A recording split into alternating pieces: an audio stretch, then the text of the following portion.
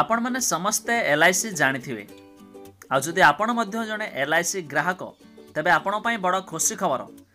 ଭାରତୀୟ ଜୀବନ ବୀମା company L I C ଏବେ ନିଜର ଗ୍ରାହକମାନଙ୍କ ପାଇଁ ଏକ ବଡ଼ ଖୁସି ଖବର ଯାହା କିଛି ବଡ଼ ଘୋଷଣା କରିଛି।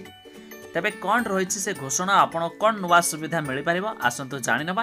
ତା ପୂର୍ବରୁ ଭିଡ଼ିଓ ଗୋଟେ ଲାଇକ୍ କରିଦିଅନ୍ତୁ। ଆଉ ଆମ ଚ୍ୟାନେଲ୍ ସହ ଯୋଡ଼ିବା ପାଇଁ ଏବେ ସବସ୍କ୍ରାଇବ୍ କରି ପାଖରେ ଆସୁଥିବା ଘଣ୍ଟି ଚିହ୍ନକୁ ଦବାଇ ଦିଅନ୍ତୁ। କମ୍ପାନୀ ବର୍ତ୍ତମାନ ପଲିସି ଧାରକଙ୍କୁ ନିଜ ଦୁଇ ବର୍ଷ ତଳର ବନ୍ଦ ହୋଇଯାଇଥିବା ଆକାଉଣ୍ଟକୁ ପୁଣି ଥରେ ଖୋଲିବାକୁ ଅନୁମତି ପ୍ରଦାନ କରିଛି। ଏନେଇ କମ୍ପାନୀ ପକ୍ଷରୁ ଟ୍ୱିଟ୍ କରାଯାଇ ମଧ୍ୟ ସୂଚନା ପ୍ରଦାନ କରାଯାଇଛି।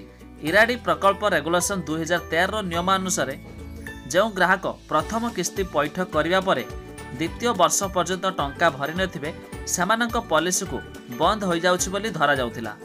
କିନ୍ତୁ ଏହି ନିୟମ ଦୁଇହଜାର ଚଉଦ ଜାନୁଆରୀ ଏକରୁ ଲାଗୁ ହୋଇଥିଲା। ଫଳରେ ହଜାର ହଜାର ଏଲ୍ଆଇସି ଉପଭୋକ୍ତା ନିଜ ପଲିସି ହରାଇଥିଲେ। ତେବେ ଏଲ୍ଆଇସିର ବର୍ତ୍ତମାନ ଘୋଷଣା ପରେ ପୁଣି ଥରେ କମ୍ପାନୀରେ ଗ୍ରାହକ ସଂଖ୍ୟା ବଢ଼ିବେ ବୋଲି ଆଶା କରାଯାଇଛି। ଏହି ଅବସରରେ କମ୍ପାନୀର ପ୍ରବନ୍ଧ ନିର୍ଦ୍ଦେଶକ ବିପିନ ଆନନ୍ଦ କହିଛନ୍ତି ଯେ ଦୁର୍ଭାଗ୍ୟବଶତଃ ଏଭଳି ପରିସ୍ଥିତି ଆସିଥାଏ ସେତେବେଳେ ଆମେ କୌଣସି ପ୍ରିମିୟମ ଅର୍ଥ ପଇଠ କରିପାରୁନଥାଉ ଫଳରେ ପଲିସି ଲାପ୍ସ ହୋଇଯାଇଥାଏ। ଏହାଦ୍ୱାରା ଗ୍ରାହକ ଅସୁବିଧାର ସମ୍ମୁଖୀନ ହୋଇଥାନ୍ତି। ଏଣୁ ଗ୍ରାହକଙ୍କ ଅସୁବିଧାକୁ ଦୃଷ୍ଟିରେ ରଖି ଆମେ ଲାପ୍ସ ଆକାଉଣ୍ଟକୁ ଏବେ ପୁଣି ଥରେ ଚାଲୁ କରିବାକୁ ନିଷ୍ପତ୍ତି ନେଇଛୁ।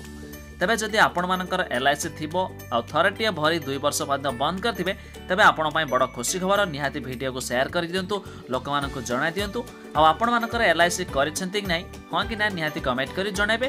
ଆଉ ଏହି ଭିଡ଼ିଓକୁ ଲାଇକ୍ କରନ୍ତୁ ଆମ ଚ୍ୟାନେଲ୍ ସହ ଯୋଡ଼ିବା ପାଇଁ ଏବେ ସବସ୍କ୍ରାଇବ୍ କରି ପାଖରେ ଆସୁଥିବା ଘଣ୍ଟି ଚିହ୍ନକୁ ଦବାଇ ଦିଅନ୍ତୁ। ବାବାଏ